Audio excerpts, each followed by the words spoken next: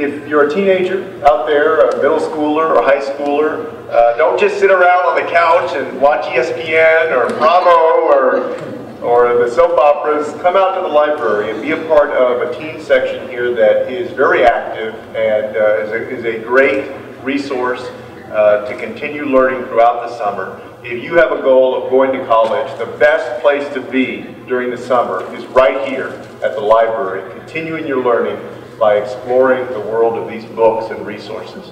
So I challenge uh, the families of San Antonio and our teenagers to read as much as possible this year and make this the most successful summer reading program ever. Thank you.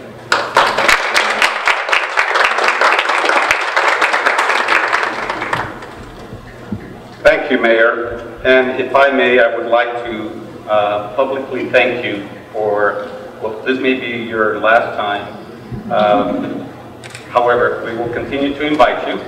Uh, But I want to publicly thank you for being such a great champion of the Library Summer Reading Club. Uh, Thank you so much for uh, endorsing it, for supporting it, and for talking about the importance of reading. We really appreciate and great- greatly value your support. Thank you.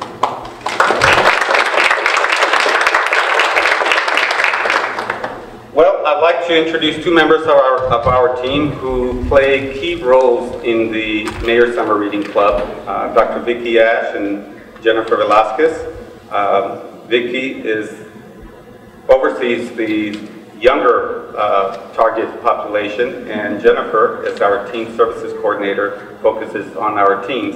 Uh, they both work very hard to develop a very uh, dynamic, very structured uh, program during the summer to uh, reach as many young people as possible. Uh, again, to talk about the importance of reading during the summer when children are on vacation and if they don't keep reading, they can fall back in their reading skills and reading levels, and it's because of their work uh, that we continue to impact the community and promote reading during the summer months. And I'd like to invite both of them to the podium to tell you more about what they do together.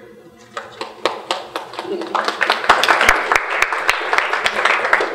you all so much for being here. The theme of the Summer Reading Club this year is Fizz Boom Read. And so we're having a scientific sort of summer. As you can see, there's green slime everywhere. Um, I want to say, though, that we have two things we want to think about with children and reading in the summer.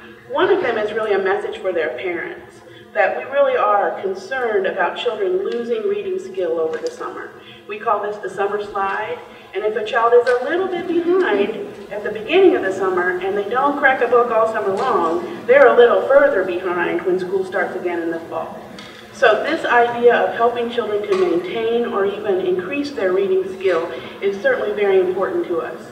But long before we even knew about Summer Slide, libraries were, were um, encouraging summer reading, quite frankly, for pleasure and for fulfilling your own sense of curiosity. So this is a time when children can learn about things that they just want to know about, not a time when somebody tells them what they need to learn about. It's a time when they can read books that help them build their empathy for other people and try on other lives. So we really want to encourage reading for fun and reading for skill. But my job, I feel like, is to help children learn to love to read. And that's what we're hoping will happen this summer with all the kids who join the reading club. Absolutely.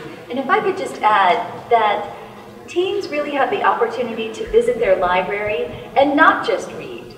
This is an opportunity for out-of-school learning and an opportunity to become involved in their community.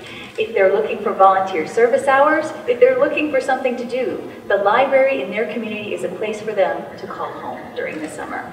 And it's my job to invite 13 to 18-year-olds to visit their library, partake in our activities, read our books, and participate.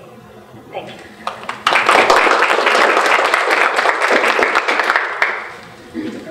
Thank you, Viki. Thank you, Jennifer. Last but not least in our program is our Chair of the Library Board of Trustees, Jean Brady. As a former school librarian, she understands uh, uh, directly from her experience the importance of reading. Uh, but I'd like to recognize Jean for her leadership on the Library Board of Trustees, for her passion for the services the library uh, provides and offers. Uh, she works very hard on your behalf, and uh, it is my pleasure, my honor to introduce Jean Brady to you team. Thanks, Ramiro. Well, on behalf of the staff and of the Board of Trustees, I want to extend a real special thank you to Mayor Castro. We know he's really busy and we're glad he's here with us today.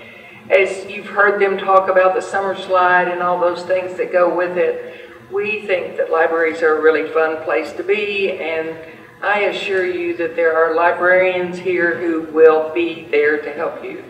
And I have to say that one of my favorite things to do in the summer was, we didn't have a library in the little town I grew up in. And so we drove 15 miles to Denton, Texas, and we checked out 50, I checked out 15 books every week. And I'm a really fast reader, so that's what I did all summer was read. And I can't tell you how many doors it's opened for me, not just doing this job, but in getting to travel the world and see things that I never thought I'd get to see. So I assure you it pays off to be a reader. Uh, we appreciate Mayor Castro and all our partners that have helped put this on. We could not do it without all of you all, and especially the librarians who've planned all the programs and the story times and all the things that keep children engaged all summer. So it's an exciting time for us. I'm pleased that you all are here, and I thank you for coming. Thank you.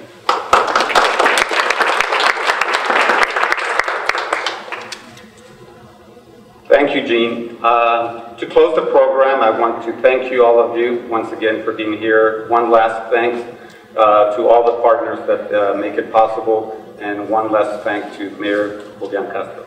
Thank you all for coming.